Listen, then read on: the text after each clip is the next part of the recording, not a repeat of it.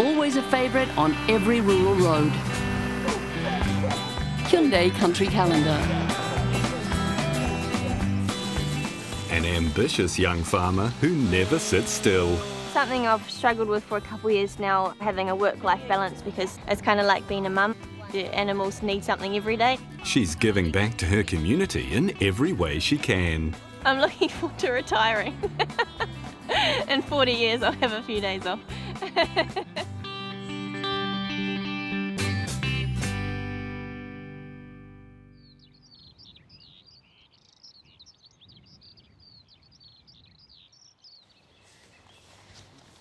Karaka farmer Lisa Kendall has a big job on her hands today. In her line of business, every day brings something different. We just had a few problems in the winter with trees falling down on the boundary fence. So we're just cutting the trees off the fence and then fixing up the fence as we go. But this is not Lisa's own farm. I refer to myself as a hirer farmer. So I'm like the farmer that lifestyle blockers call in to do the farm work. I'm kind of a handy woman, I guess. Lisa's rural contracting business is called Nurture Farming. I do everything from fencing jobs to shearing their sheep, spraying, riding their horses for them, looking after their properties while they're away, installing water troughs. Basically, I try and cover almost everything that they need. I do quite enjoy fencing. Probably be up there amongst my favourite jobs. I started learning to fence when I was working on a sheep and beef farm in the South Island. So yeah, now I like to think I do quite a good job. when Lisa came home to Karaka after completing two agriculture diplomas, she discovered a lot of lifestyle block owners needed help to manage their land and animals. I have about 30 or 40 regular clients and then people who just call up for a one-off job. I love working outside. On days like this, when you get wet socks and wet undies, is not super fun. But um, in general, it's usually fun, even if you get slightly damp. But being my own boss is quite good. I just don't like the paperwork.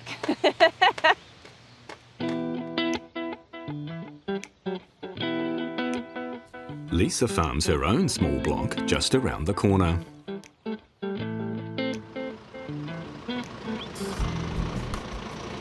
Last year, the dairy farmer next door was selling off 20 hectares of his land.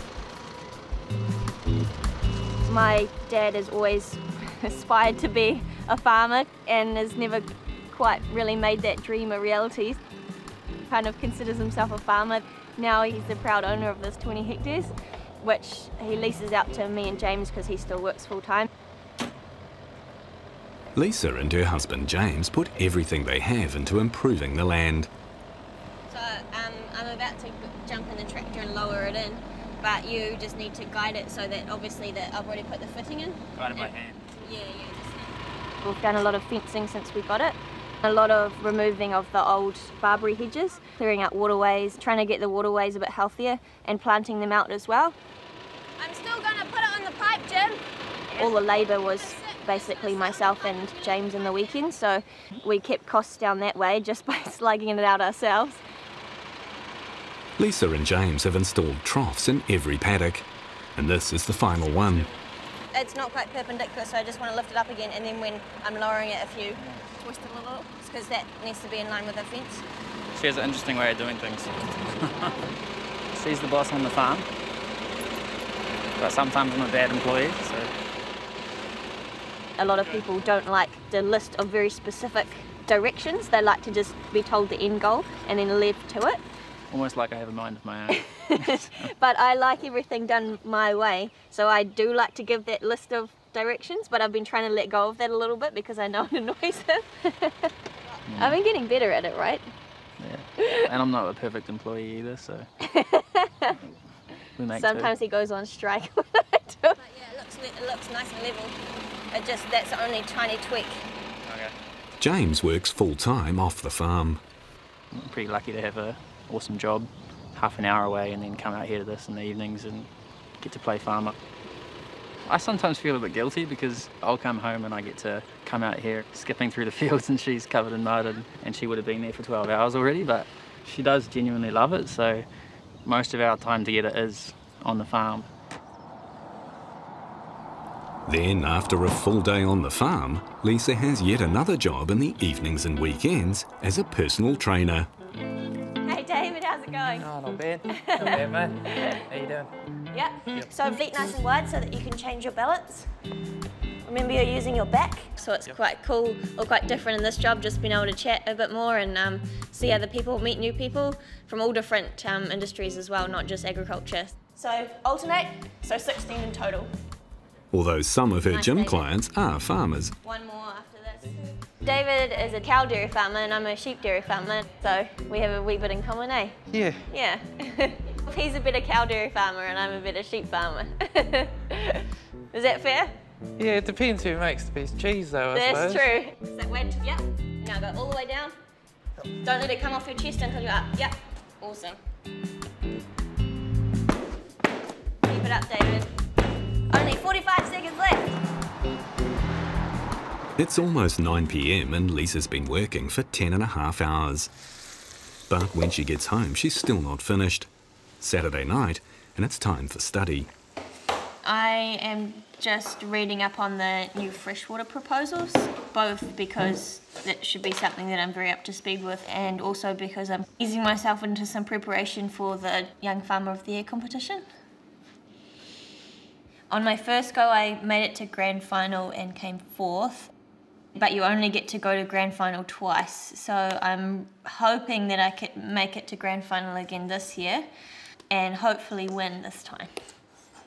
Lisa is one of only four women who've ever made the grand final. I think the first time was a fluke, so I'm feeling much more nervous this time. Studying, I guess, for the competition is a little bit of a stab in the dark because it could be anything within agriculture from financial planning to filleting a fish, anything like that. I get pretty exhausted. To be fair, James does probably the bulk of the the cooking and the cleaning, and I look after the animals, and James looks after the humans. It can be Sunday, or it can be Monday, but they call me a couple times. It's not always easy for him because sometimes the only time we do spend together is pretty much me walking in the door, getting fed, and then having a shower and going to bed.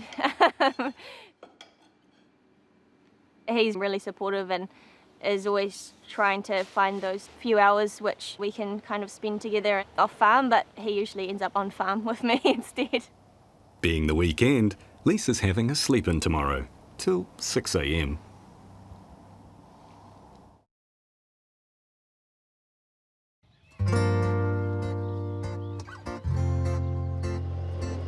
Every morning from July to February, Lisa Kendall milks her small mob of East Frisian ewes, usually at 5.30. Get away back, Katie. But on Sundays, Lisa and the girls get a lie-in. I was always quite flexible because these girls were rearing their lambs up until recently, so they didn't get too full of udders if they had to wait a bit longer. Sheep are great animals, so it's quite nice to spend the morning with my girls in a rather relaxed fashion. They mostly do all the work. The milk gets sold to a couple of different cheesemakers. There's not a very big part of the income stream here, but it makes sense on a per sheep basis. when you work out my hours, probably makes slightly less sense. I could be making more money if I spent the hours contracting, but I can't really go out to my contracting jobs in the dark. This was basically, I guess, an experiment year. And hopefully next year we'll be increasing the number of sheep milked and then supplying to a bigger company. Cleaning takes far longer than the actual milking, which drives me a bit crazy. But once the operation gets bigger, then obviously the ratio of milking to cleaning will be a bit better. It's not particularly intellectually stimulating. I'm not really thinking about what I'm doing, I'm more just thinking about how to save the world or all those complicated thoughts. Lisa's not kidding. When she's hosing out the shed, she really is puzzling over how her contribution can help save the world. I'm not sure how to save the world yet. I haven't quite figured it out because there's billions of people to, you know, lift out, out of poverty and things like that. But that, that kind of overwhelms you and then you do nothing. But if you just um, think, well, if I just start with one person or if I just start with, you know, one community, then breaks it into more of a bite-sized chunk, I guess. And Lisa has found one small way to help. Every day she leaves some sheep milk and eggs at her farm gate. This milk is just basically for people in need. This particular area is quite nice, but there are a surprising number of people within 10 minutes drive who are quite needy. But most of her milk goes to cheesemakers like Annabelle David. So that's the fromage frais, which I think you've had before. Eh? Yeah, I love it. That's yeah. the one that is a bit salty, and it works really well with bagel and whatever garnish you, you want to have. I'll leave you put Awesome, your thank you. thing on. Yeah, if it works works for for you. you, awesome. Yeah. The way that it works with cheesemakers is it's not always easy because their orders aren't always consistent, so it's hard to plan in advance, I guess, how much you can give them or how much they need, and it's hard from a budgeting perspective as well. This is gonna be fun. yeah. Do you remember the lamb's names, Karen? Ah, the lamb's names It's Hippo and Gandalf. Pepper and Gander. Yeah. Lisa's friend Karen is here for one of her regular visits. Lambs! Hippo! Pepper! Her and I became friends about two years ago through the IHC Volunteer Friendship Program. They match you up with someone with similar interests. So Karen has always had a great love for farm animals. So that small one, that's Gandalf. That's Hippo. she comes out with me every couple of weeks and just has a bit of a farm day. Good job. Having Karen out here make me stop and smell the roses a little bit because Karen's not here to work herself to the bone. She's there for a good time, and I have to slow down a little bit as well and enjoy myself. Hey, girls! So those are the other pet lambs, Karen. Hey, Lisa. No matter what job we've got to do, she's always happy, so it kind of brings me up as well. I told you he's pretty strong. Oh, I hold him. clo- I got a strong arm. pull him, pull him, Karen.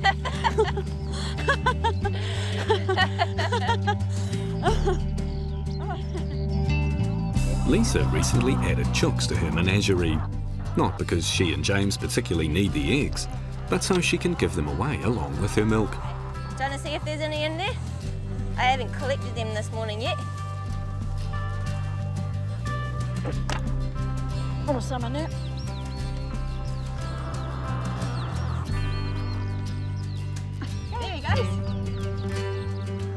animals. Yeah, Oh, I've done well today. yeah. Next day, and it's back to the client's fallen trees. We'll just head up here, Emma, and get these ones off the fence. Yep. Lisa has her part-time helper, Emma, to repair the broken fence.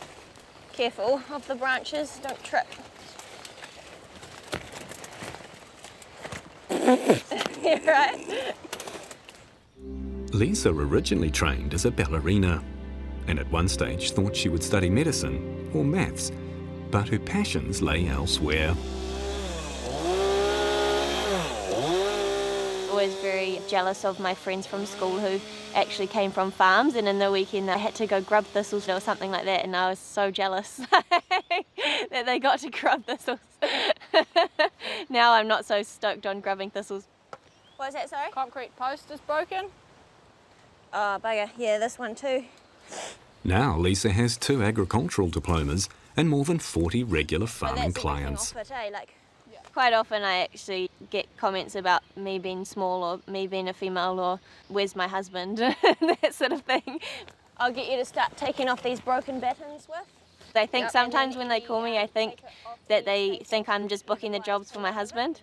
I had one client once and I had two chainsaws and a pole saw in the back of my ute and I turned up and he saw all my gear and said, oh, can you use all that? okay, I'll see you later. See ya. Thanks, Emma. Lisa has to leave Emma to it and attend to another client's stock. Today's fairly flat out. The big fencing job. We'll be going, we'll be going all day in the rain. I'm just heading off to trim a goat's hooves and vaccinate some calves. Hi. Hi Sandra, how's it going? Good, good. They all in the one paddock today? Yeah. Awesome. This is my main source of income. A home farm is probably sucking more money out of me than it is making at this stage, but that's okay. It's in the you know first year basically of running it. So these guys are just getting their five-in-one vaccine for clostridial diseases. Um, they haven't had one yet, so they'll get this one and then one in four to six weeks from now. That wasn't so bad, was it, babe? Too easy. Do you want me to hold him? Um, if you don't mind just like leaning against his butt here. Yeah, thank you. So we can't take too much off inside here because it will be too sensitive and bleed. Oh yeah. But all is not entirely well with these goats. So it looks like they have a goat form of arthritis. He's gone and stood in all the calf poo just before he goes. Rural contractor Lisa Kendall does a bit of everything, but her passion is animal health. have you heard it clicking when he's nor- Oh, yeah, I've walking? heard Carlin clicks. Yeah, so it looks Yeah. like they have CAE, which is um, like a goat form of arthritis. Oh, okay. You'll just have to keep an eye on them and potentially get the vets out to treat that because I think that his knees might need drained. I think it's more just about now keeping them comfortable, giving them um, painkillers or anti-inflammatories. Okay. Um, a lot of lifestyle blockers, they do the absolute best by their animals. Unfortunately, there's a lot that you kind of don't know that you don't know when you get an animal. I make an effort to know a lot about animal health, like goats, for instance, are a pretty popular pet. So it's important, I guess, that their owners pick up little bits of information when I come out to help them out with things. I'm just putting a post on my Nurture Farming Facebook page. It's a little public service announcement, announcement about plaguing disease in goats. But as well as helping her many clients, Lisa also has to find time to check her own stock. So these guys are um, one-year-old cattle. Finishing the cattle is really the only thing that makes any money on this place at the moment. And just to keep things busy, a group of 50 secondary school teachers have come to meet Lisa and explore the farm. It's like the number one. Was it petrol gas? No, this is the milking shed. the chickens aren't supposed to be in it. Drafted They're milking. careers So advisors, here to learn about opportunities in agriculture. Will this become your day job as well? I would love to spend a lot more time on my own farm, but it's kind of that balancing act when it's financially viable as well. By mid afternoon, the teachers have left, and some of Lisa's mates from the local Young Farmers Club have come to help her weed her native plantings. This particular gully, um, up until earlier on this year, it was just gorse and woolly nightshade, privet and blackberry, so it was a real mess. We spent a lot of time on the end of a chainsaw getting rid of all that. It was pretty exhausting, but yeah, really happy just to see these natives coming up. The woman who spends her life helping others is receiving some help. This is a club fundraiser, so the Franklin Young Farmers we paid by my business. Young Farmers is really good for that, having basically a support crew or people you can call on for a big job like this. And James has persuaded Lisa to take some time out to relax with the gang afterwards. That's something I've struggled with for a couple of years now, having a work-life balance. James is really good because he forced me to go out to dinner with him and things like that. So someone like me, we just kind of work ourselves to the bone if no one drags us up on it.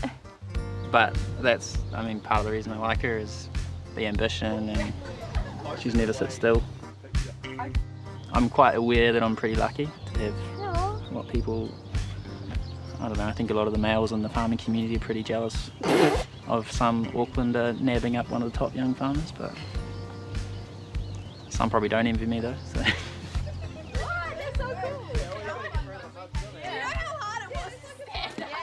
But by the next morning, Lisa's straight back to helping others. Morning. At Riding for the Disabled, Good, how are you? Is a safe place for people with all sorts of disabilities to come and interact with horses and ride them with super, super safe horses and um, trained up leaders and sidewalkers.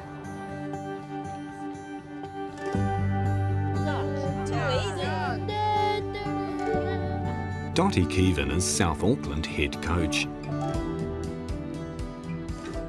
Each rider has specific goals that we develop with um, healthcare providers, school teachers, parents. Cody is an autistic child who struggles with interacting, so his goals are not only about physical fitness and physical well-being that riding gives him, but also about being able to interact with people. Say go, Breeze. Good boy. I'm sidewalking at the moment. I uh, walk alongside the child, um, hold them when they need um, extra balance and stability, and just be there ready for in case anything goes wrong. Going to the beach? Not yet, but we can go through the road. Without volunteers, we just couldn't run this organisation with each rider taking at least two, sometimes three or four volunteers. Not only do they turn up and do the fun stuff, but you know they mow lawns, they clean gear and work at fundraising events, do all sorts of things, so they're crucial. I actually really enjoy coming here. It's, it's yeah quite a relaxed environment and there's some really cool kids, also some really cool volunteers. So yeah, it's a really enjoyable way to get your horse fix if you're a horsey person and get your kid fix if you're a children person. I'd say I'm both of those, yeah. The good thing about working for myself, I guess, is that I can set aside time to come to riding for the disabled. But Lisa admits she's not the best at taking time out for herself. I struggle a little bit with the work-life balance, but getting better at it, I hope. I'm looking forward to retiring. In 40 years, I'll have a few days off.